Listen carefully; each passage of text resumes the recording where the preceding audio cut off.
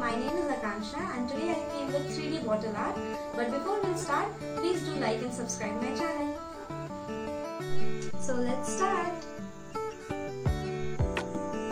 Here I am taking length and breadth of bottle. Make sure that breadth should not be too much. I have painted the bottle with black Asian paint.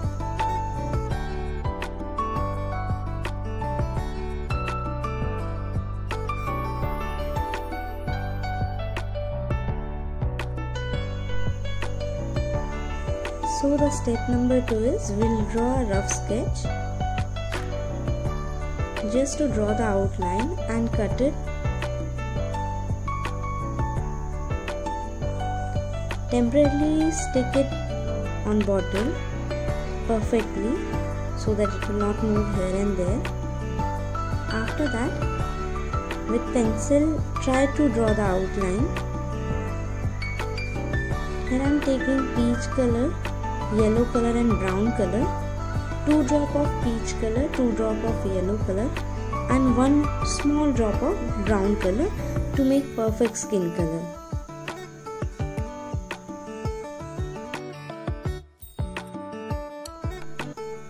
Mix it very well. After that cover all the outline with skin color Later on half of the finger I am covering with red color. Here I am taking flat brush to cover the edges properly.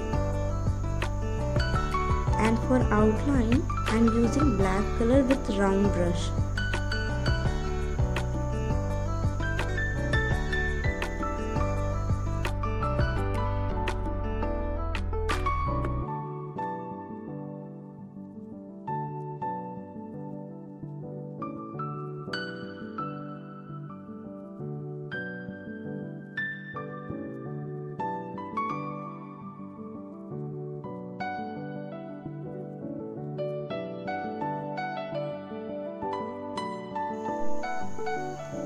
Just follow the rough sketch which you have drawn for all the designs. Here also I am taking the round brush